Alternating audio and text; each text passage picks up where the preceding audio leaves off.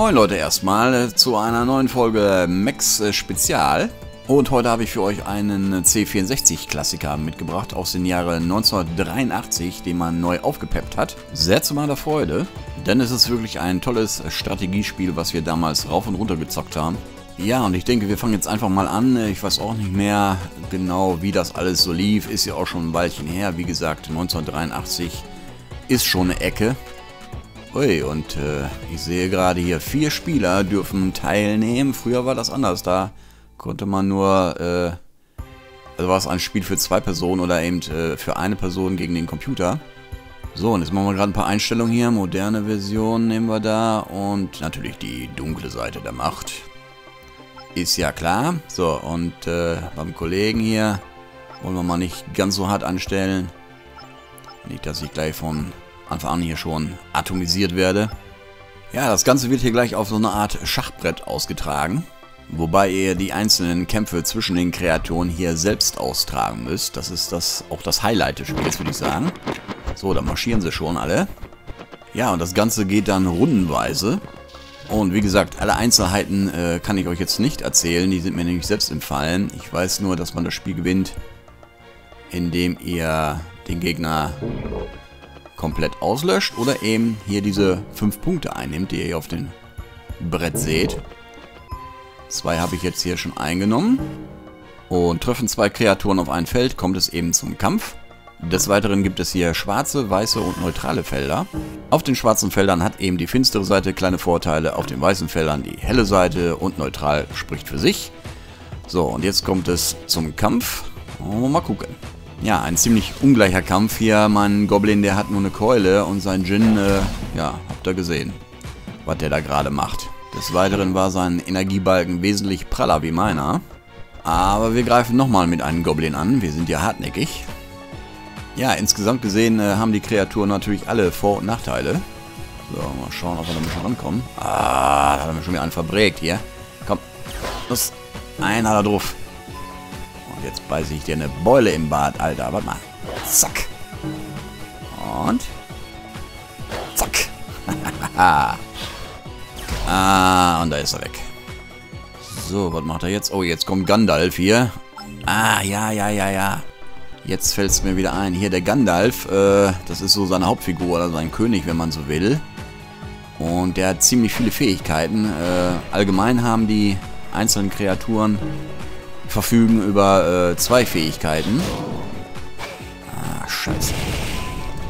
Außer eben der König, der hat ziemlich viele Fähigkeiten. Im Einzelnen weiß ich gar nicht mehr, was alles.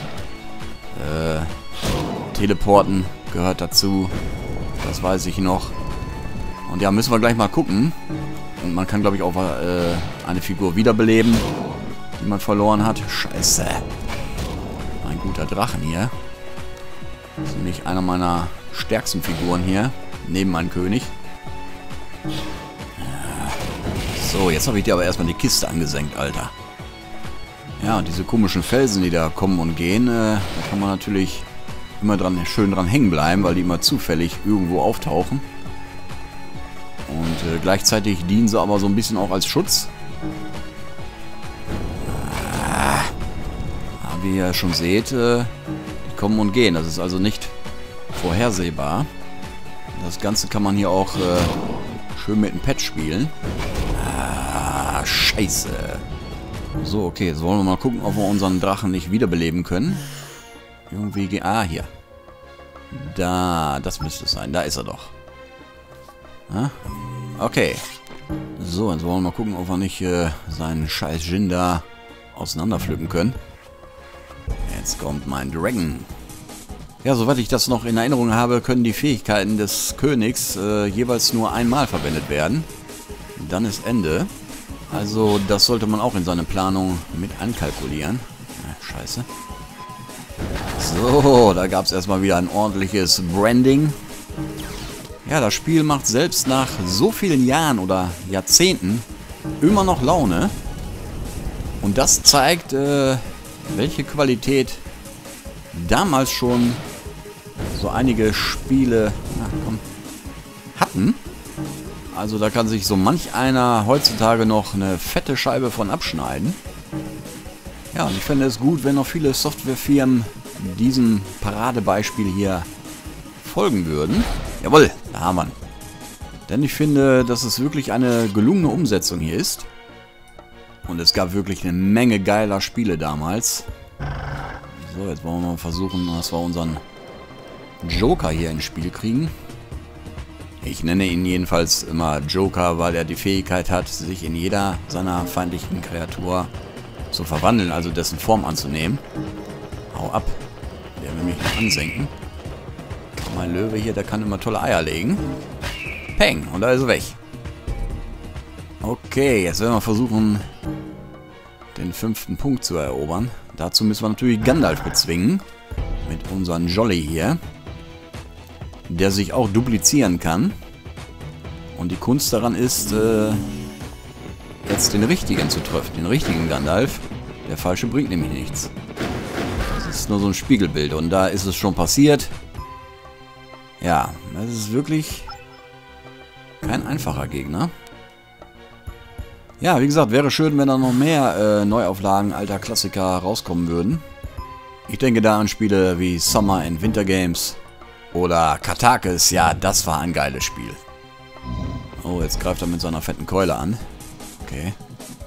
Ja, sein Golem, der hat ziemlich viel Power, ist aber lahmarschig. Aber ich wollte eben nur was zu Katakis sagen. Katakis war ein supergeiler Weltraum-Action-Shooter, der seine Zeit weit voraus war. Und das Teil entstand aus der deutschen Software-Schmiede Rainbow Arts aus Gütersloh.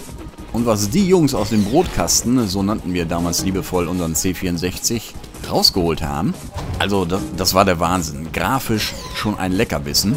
Man darf dabei natürlich nicht vergessen, dass wir damals mit dem C64 einen Arbeitsspeicher von äh, 64 Kilobyte hatten.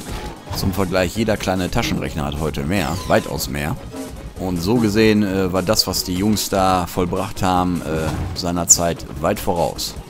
Aber auch die Ideen, die da äh, hinter manchen Spielen steckten, diese Tiefe und Kreativität, die sich damals ja noch gar nicht alle so umsetzen ließ, wenn man das vergleicht mit so einem einfallslosen Scheißhaufen, der einen da so manches Mal heutzutage serviert wird, ja, dann muss ich sagen, okay, Grafik und Sound hat sich natürlich logischerweise alles verbessert, aber was die Kreativität und die Tiefe der Spiele angeht, da hat man sich dann doch schon stellenweise ganz schön zurückentwickelt. So, und da ist der dicke Flöten. Ja, es gab zum Beispiel ein Spiel, das hieß äh, The Movie Monster Game. Und da hat man eine Person gespielt, die jetzt ins Kino ging. So, und am Kino angekommen konnte man dann äh, wählen zwischen drei Filmen, die alle irgendwas mit Monster zu tun hatten. Ja, und dann hat man sich ins Kino gesetzt, der Vorhang ging auf und mit einmal war man selbst Hauptakteur im Film. Beispielsweise Godzilla, der dann äh, die ganze Stadt verwüsten musste. Das war natürlich alles verbunden mit äh, sehr lange Ladezeiten, weil die Technik eben damals noch nicht so weit war. Mein Brotkasten war durchgetunt und er hat äh, 202 Blocks, glaube ich, in 17 Sekunden geladen, was schon enorm war.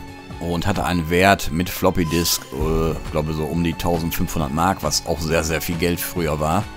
Und ich war ja noch Schüler und musste mir das dann alles so zusammensparen und habe dann auch schon hart gearbeitet dafür. Früher hat man dann nicht so nachgefragt wegen Kinderarbeit und so. Und habe dann äh, in der Spedition, wo mein Vater auch gearbeitet hat, äh, mitgeholfen. Und dann kam natürlich Konfirmationsgeld und äh, Weihnachten, Geburtstag etc. dazu. Bis ich das Geld eben zusammen gehabt hatte. Und habe dann auch angefangen selbst zu programmieren, sehr erfolgreich. Habe da so einiges auf die Beine gestellt. Und äh, hätte ich auch bei bleiben sollen. Ähm, wer weiß, was dann äh, heute aus mir geworden wäre.